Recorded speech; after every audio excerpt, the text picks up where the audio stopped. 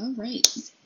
So we are getting right into it because I forgot to hit record, which is why there's already color on the page. Hey guys, guess what?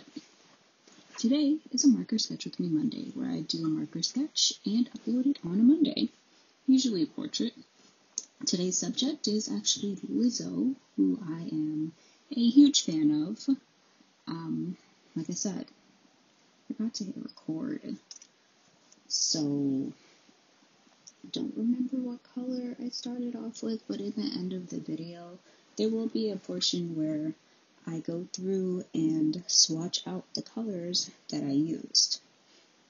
And I've started doing that because I have a lot more markers, a lot more, yeah, a lot more markers, but like specifically a portrait set. And I feel that the swatches that I did on the little piece of paper there that came with the Ohuhu set does they don't really they're not giving what they need to be giving if we're telling the truth. The sketches are I mean the swatches are accurate, but like they're just kind of randomly thrown together and so I always find myself having to do swatches on the side of the paper on a a different paper or the side of the paper. I've been trying to keep this in particular, the sketchbook, pretty nice and neat, which is not really common for me, and so I've been swatching on a different page, which you can actually see that page there. So, yeah, that's what I'm working on. Lizzo, she has her head back actually, and her hands are in screen eyes closed. So it's kind of a different portrait. Oh, and head on as well. So it's definitely a different portrait than what I usually do on this page, on this channel. I mean, generally, I was looking through pictures to draw and I was just like, why is it that all of my drawings feature a person facing left? So I'm trying to switch it up a bit. I have a couple of different skin tones represented in this sketchbook. So I want to keep that up. I'll probably do someone with lighter skin.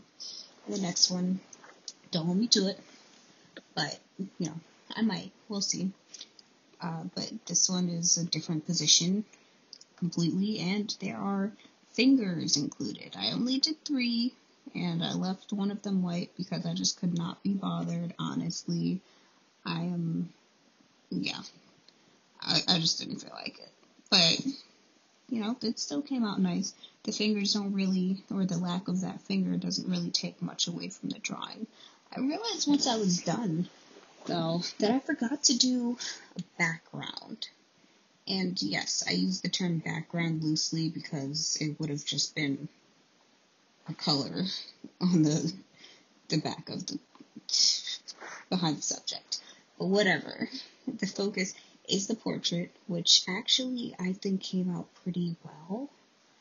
Although it's not as symmetrical. Is it symmetrical or symmetric? Although everything doesn't line up in the way that it should. I still really like it. So I think I'm gonna start like when I'm doing my sketching, taking more time to make sure that things line up properly. I did used to do like a grid system, but I think like with these portraits and uploading them and etc etc I've started to get a little lazy, which is not good because I do still want to create content that I'm actually happy with. And so I'm going to have to start focusing a little bit more. I think I'm going to definitely go back to that gridding thing. And I didn't do like a full grid. What it was was more so me drawing a line down from the inner corners of the two eyes and the outer corners and kind of lining that up with where it should hit the nose and then drawing a line across the eyes, the bottom and the top, so that those two were lined up. And then you know, doing something similar with the mouth, but basically just making sure that everything was in the place that it should be. So, to get back to what's actually going on in the screen, right now I am using a blending technique to blend a really dark color with something that's not quite as deep. It's actually working out pretty well for me, I would say. I don't usually make such large jumps, but you know, I, I kind of, as far as markers and chisel nibs, I kind of have an idea of the way to get them to blend pretty well together, or if they're not blended that well, if they're not blended as perfectly as they would be with a, uh, what is it called? Bendy nib. I don't know. I'm blanking. If they're not blended as well as they are with the other kind of nib, like I still have an idea of how to get them to have the illusion of being blended from that certain amount of distance that you'll be seeing it at. Now, just working on the eyes, the eyes are definitely different than the eyes in the actual image she has on makeup and I'm just lazy. So I really just put down a bunch of colors just to emphasize the depth, which is really what I've worked hard on throughout this whole piece. And mostly in all of my pieces, I try to definitely show depth. Um, and it's been at the expense of accurately placing not colors but features. And so I want to, you know, get better at both. But I just really like I just didn't feel like doing her eyeshadow. And I, I assume it had something to do with the fact that I did this at 3 a.m. or 2 a.m. Whatever time it was, it was pretty late. And so I know that I'm going to have to. Ooh, I'm going to have to start doing a little bit better with my time management so that I am not skimping on quality um, in favor of quantity. So I am now doing her eyebrows. I tried to not use too many markers. I actually, I have, what's that, five next to me and one in my hand, but I ended up not using one of those. I wasn't, I actually took out that extra one that I didn't use initially. That was going to be my deepest tone for her face, not the dark, not the deepest one for the shadows underneath her chin, next to her chin, and around her hair, but the deepest tone for her face, so in the hollows of the cheekbones. But I decided that the one that I ultimately used was a better idea. And I am happy that I made that decision. So, yeah. It is what it is. I honestly am watching the video as I'm doing this voiceover, and I'm actually really enjoying the way that this one this came out. I tried to make sure to not use the same colors as my last pieces and that's specifically because I want to I want to try out as many of these markers as I can. And I know that I might have to use the same markers again, you know, at some point. But as far as testing the actual um, the actual strength of the what's the what am I trying to say? Testing the versatility. I think that's what I mean. As far as testing the actual versatility of these markers, I decided that I wanted to try to use as many of them as possible because it's kind of, you know, it's kind of useless if I have 36 markers and I decide to use the same three and four over and over again, which I definitely could do because I I think I had mentioned in another video, probably the one from last week's Marker Sketch Monday, you know, number two, I'd mentioned that I, for years, used probably like the five or six same markers for skin tones, specifically for darker skin tones. And I did all kinds of uh, commissions and projects and etc etc like i did so many different things with them. And you know they all generally came out the correct skin tone. So i don't think that quantity is really all that important when it comes to markers but if i have quantity then you know might as well use it which is funny because now kind of realizing that the fact that I don't really have quantity when it comes to uh, like I guess colors that aren't brown and beige. I don't use those colors.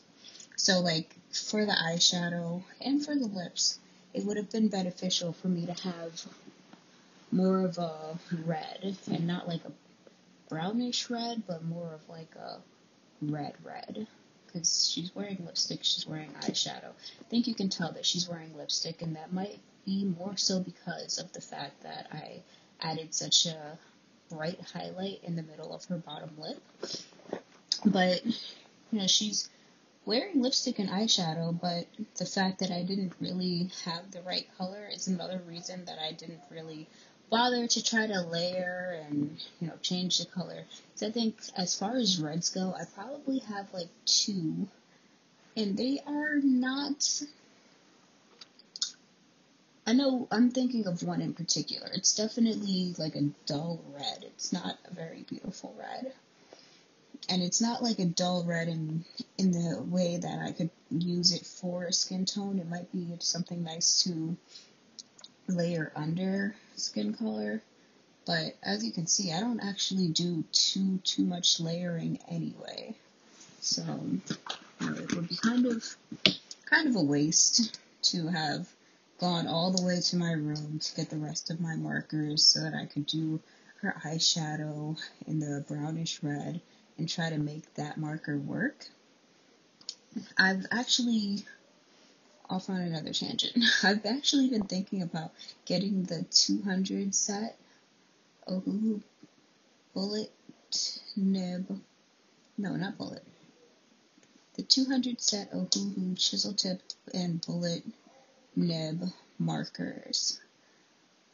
I think my only the, the thing that's really holding me back is first of all like two weeks ago they were like $96 and now they're telling me I have to pay 110 on Amazon. I don't like that. so, you know, we, we we might not be doing that for a while until they go back down to like 95 or maybe just a 100.